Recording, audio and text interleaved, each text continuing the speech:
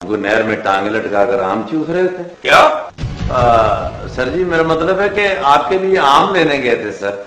Sir जी आ, हम ना नहर के ऊपर नाका लगाएँगे आप टांगे डाल के ना नहर में तो आम चूसिएगा मुझे आम चूसने का कोई शौक नहीं है।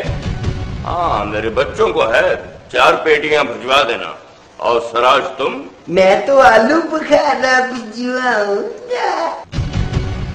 सर जी, मेरे कहने का मतलब है जी, वो जो आपने मुझे लिस्ट तैयार करने के लिए दी थी ना, सर जी, मैंने वो सारी लिस्ट तैयार कर ली जनाब, जिन पे मुझे शक है। मुझे शक है कार चोरों पे, मुझे शक है कब्जा ग्रुप पे, मुझे शक है जेब तराशों पे, मुझे शक है मनशियात फरोजों पे, और कुछ आला अफसरान को हम पे भी शक है जनाब। तुम्हें सब पर शक ही है यकीन किसी पर नहीं है। मुझे उस पर शक है उस पर शक है। सर जी इसकी शक की आदत की वजह से तो इसकी तलाक हो गई थी सर।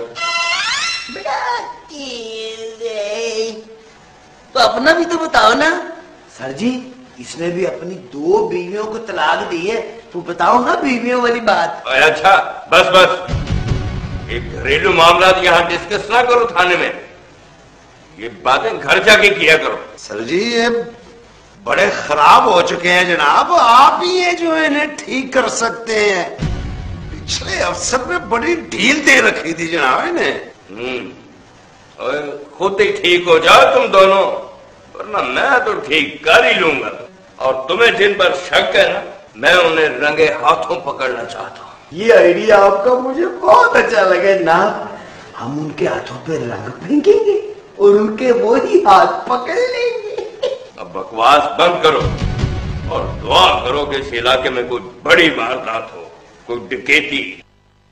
आ गए हैं लाइन पे। आ, सर जी अगर आप कहते हैं तो वारदात करवा देते हैं। गाड़ी तो इसमें कम लगती है सर। लेकिन स्टार्ट तो हो जाएगा ना। लेकिन कत्ल वगैरह हम नहीं करवा सकते सर। इसमें किसी की जान चली जाती है जी। इसलिए ये हम नहीं करवा सकते। क्या बकवास कर रहे हो तुम? मैं दिहाड़ी लगाने वाला लगता हूँ तुम्हें।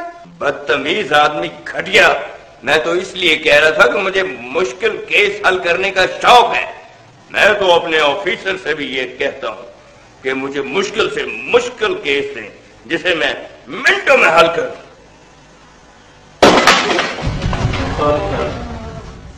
Sorry sir.